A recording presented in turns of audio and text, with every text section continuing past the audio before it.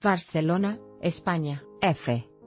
Una empresa española ha inventado un dispositivo no invasivo que diagnostica enfermedades renales con el test de una gota de sangre, y se puede utilizar en la consulta médica o desde la casa del paciente.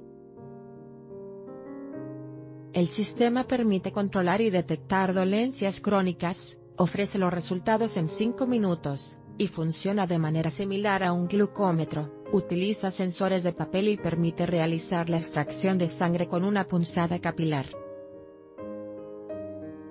Los usuarios, además, puedan enviar los datos obtenidos al personal sanitario por medio de una plataforma digital.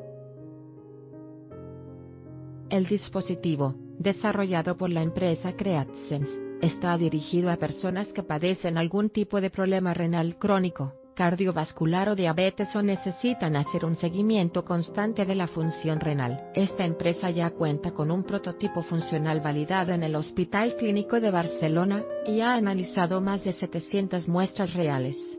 La compañía prevé iniciar la comercialización del dispositivo a partir de 2020 en hospitales y centros médicos de la Comunidad Autónoma de Cataluña, noreste, concretamente de las ciudades de Barcelona y Tarragona.